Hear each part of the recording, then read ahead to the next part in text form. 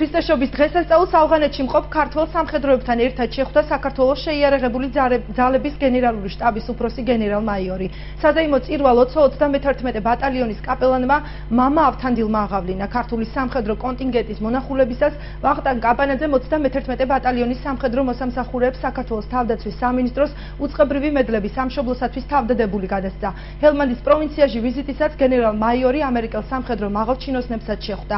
მასპინძელმა მხარემ ქართულ დელეგაციას მადლობა გადაუხადა იმ წვლილისათვის, რომელიც საქართველოს ავღანეთის სტაბილიზაციის ოპერაციაში შეაქვს.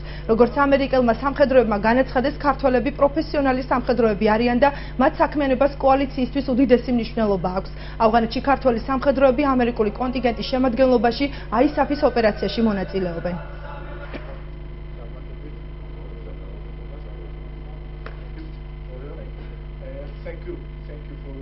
ჩვენი ამოცანა ადგილზე გავეცნობდი არსებულ ვითარებას.